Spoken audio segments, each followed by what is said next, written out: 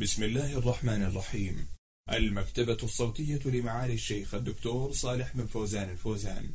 حلقات تبث في إذاعة القرآن الكريم. دروس, دروس من رمضان, من رمضان. الدرس الثالث. بسم الله الرحمن الرحيم. الحمد لله رب العالمين. صلى الله وسلم على نبينا محمد. قال الله تعالى يا أيها الذين آمنوا كتب عليكم الصيام. كما كتب على الذين من قبلكم لعلكم تتقون. ومعنى كتب فرض. كتب عليكم الصيام أي فرض عليكم الصيام. والصيام هو ترك الطعام والشراب والشهوات تقربا إلى الله جل وعلا بنية بنية من طلوع الفجر الثاني إلى غروب الشمس. هذا هو وقت الصيام. الله سبحانه وتعالى ذكر الحكمة في تشريع هذا الصيام بقوله لعلكم تتقون. فالصيام يسبب تقوى الله سبحانه وتعالى لأن الصائم يترك شهوته وطعامه وشرابه من أجل الله خوفا من الله سبحانه ورجاء لثوابه. ولو شاء لأفطر.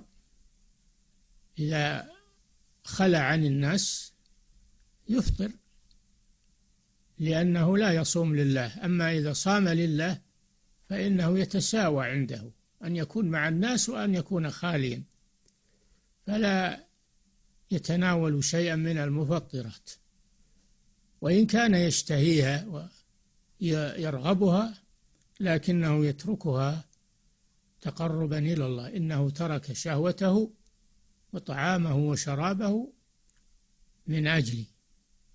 ثم قال سبحانه ولخلوف فم الصائم أطيب عند الله من ريح المسك والخلوف هو ما يتبقى على اللثة والأسنان من الطعام فإنه يكون له رائحة يكرهها الناس.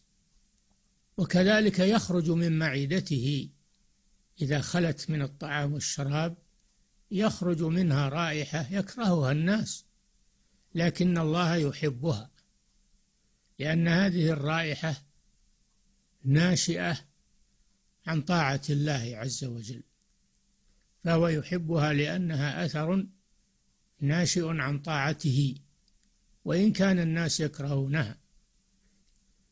الصيام له فضائل كثيرة ومنافع عظيمة في الدين وفي الدنيا وفي الصحة.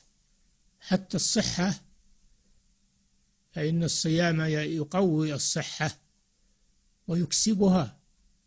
فالصيام له فضائل عظيمة وله آثار طيبة على الإنسان. لذلك تجد الصائم يختلف عن المفطر. لأن الصائم يكون عليه الوقار عليه الصمت والمهابة عليه الخشوع لله عز وجل.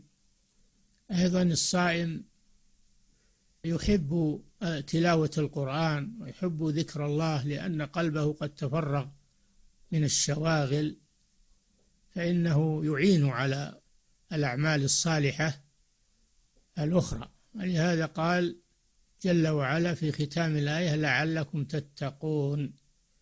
والصيام يسبب تقوى الله عز وجل وطلب مرضاته. فلله الحمد والمنة على هذه النعمة العظيمة.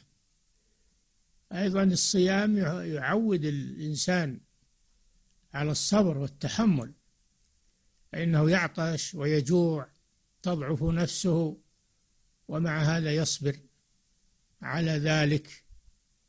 فهو أيضا يعود على التحمل وعلى ترك المألوفات ويربي الإنسان على ذلك.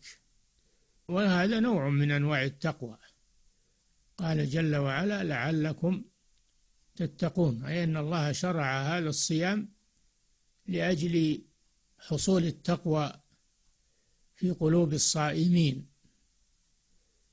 هذا فيه فضل لهذه العبادة العظيمة التي شرعها الله لعباده دائما وابدا من باب التطوع وفرض الصيام في شهر رمضان وجعله أحد أركان الإسلام. لله الحمد والمنة. صلى الله وسلم على نبينا محمد وعلى آله وأصحابه أجمعين.